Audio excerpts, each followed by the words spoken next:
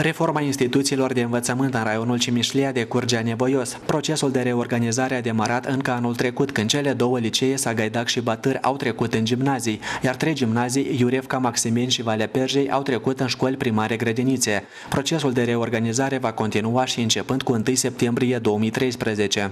Sunt reorganizate șase gimnazii, dintre care gimnaziul Cimișlia în școală primară, gimnaziul Suric, în școală primară grădiniță, gimnaziul Codreni, în școală primară grădiniță și, de asemenea, se reorganizează gimnaziul Topal, în școală primară grădiniță, copiii fiind transportați în instituția de circumscripție, gimnaziul Cenac. Aceasta este prima etapă.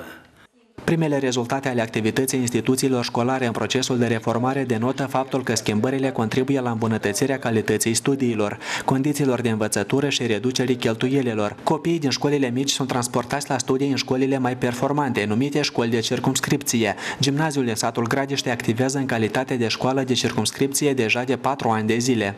Am avut uh, anul trecut primii absolvenți care au venit din gimnaziul uh, Iurivca, și, într-adevăr, au fost uh, temeri din partea părinților, au fost uh, chiar, să zicem, temeri din partea noastră, a colectivului pedagogic, pentru că era ceva nou. Uh, trebuia să transportăm elevii, trebuiau elevii să se acomodeze în noile colective, trebuiau părinții să lucrăm foarte mult cu părinții. În orice caz, toate aceste dificultăți le-am trecut. Sunt transportați de la Munteni 80 22 de copii, clasele primare. La început am avut careva probleme, s-au revoltat părinții, se îngrijorau de copiii mici care se vor scula dimineața, prea dimineață, deci, da, lucrurile s-au îndreptățit. Marea majoritate a elevilor anul acesta avem, deci din localitățile Silemet, avem Mihailovca, Satul Nou, Suricu, practic din toate, Circuminjerul, Batâr, aproape din toate localitățile, dar compact s-a primit mai mulți anul acesta Selemet, Mihailovca. Posibil că Selemet, știți că nu am matriculat în acesta în clasa 10 și am avut o prioritate. Sunt și partenerii noștri, deci de la Sagaidac, din mijlocit Circuminjerul, deci adică tradiționale noștri elevi. Părinții și profesorii susțin reformele școlare demarate în ultimul timp. Ei înțeleg că alte căi nu sunt decât a consolida instituțiile școlare puternice și a oferi fiecare copil dreptul la studii de calitate, indiferent dacă e născut la oraș sau într-un sătuc mai mic. Părerea mea este că transportul elevilor din satele mici în satele mari la școli mai performante sunt foarte, un lucru foarte bun. În schimb, este o alimentație, în primul rând, mai normală, o sală de sport mult mai mare și mai performantă. Mm, pedagogi sunt mulți care corespund obiectelor, obiectelor corespunzătoare claselor.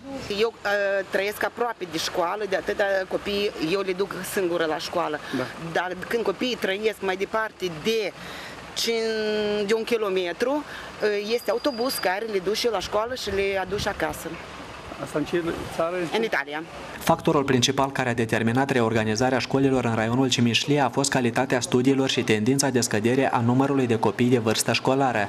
În ultimii 5 ani, numărul de elevi în raionul Cimișlia a scăzut anual cu câte aproximativ 500 de copii. Dacă în 2009 în raion erau peste 8.000 de elevi, apoi în 2013 la evidență sunt 5.700 de elevi și mai tristă este prognoza pentru următorii 5 ani începând cu anul 2014-2015, indicat anul 2014-2015, pe băncile școlii vor sta 5.180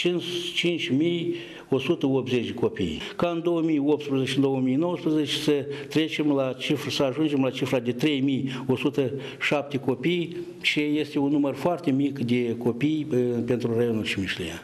Astfel, potrivit statisticilor din 36 de școli actuale din raionul Cimișlia, peste 5 ani de zile vor rămâne circa 10 școli, din simplu motiv că nu vor fi elevi.